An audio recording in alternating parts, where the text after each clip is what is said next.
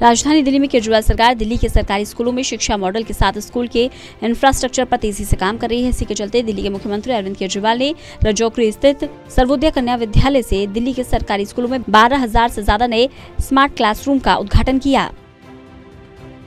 इस साल तीन लाख सत्तर हज़ार बच्चे बड़े बड़े प्राइवेट स्कूल छोड़ के वहाँ से नाम कटा के दिल्ली के सरकारी स्कूलों में अपना नाम लिखवाया एडमिशन लिया है इससे बड़ा और सर्टिफिकेट क्या हो सकता है कि दिल्ली के अंदर शिक्षा क्रांति आ रही है?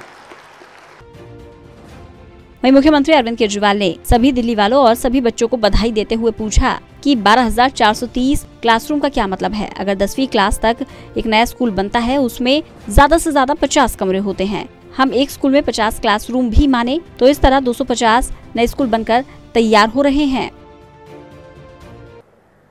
अगर एक नया स्कूल बनता है दसवीं क्लास तक का, उसमें कितने कमरे होते होंगे? बीस, तीस, चालीस, पचास?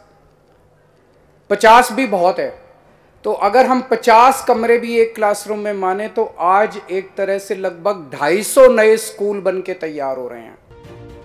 वहीं मुख्यमंत्री अरविंद केजरीवाल ने बाबा साहेब को याद किया, कहा कि बाबा साहेब का सपना था कि हर बच्चा चाहे गरीब हो, चाहे दलित हो, उसे अच्छी से अच्छी शिक्षा मिलनी चाहिए। हमारा मकसद भी देश से भ्रष्टाचार खत्म करने का है, अच्छे स्कूल और अस्पताल बनाने का है।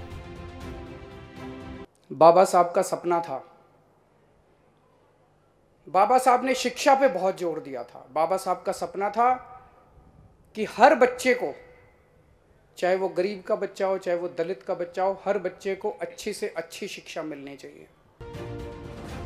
बहरहाल, नई कक्षाएँ तैयार होने के बाद अतिरिक्त और बड़ी संख्या में छात्रों को दाखिला मिल सकेगा। इन क्लासरूम को स्मार्ट कहा जा रहा है, क्योंकि इनमें प्रोजेक्टर, डिजिटल बोर्ड जैसी सुविधाएँ होंगी। केजरीवाल सरकार का दावा है कि दिल्ली में सबसे ज़्यादा शिक्षा और स्वास्थ्य को प्राथमिकता दी जाती है। बता दें कि आम आदमी पार्टी ने पाँच राज्यों के चुनाव प्रचार में भी शिक्षा और स्वास्थ्य के मुद्दे को अहम बनाया। विभिन्न राज्यों में आम आदमी पार्टी दिल्ली मॉडल आरोप ही चुनाव लड़ रही है।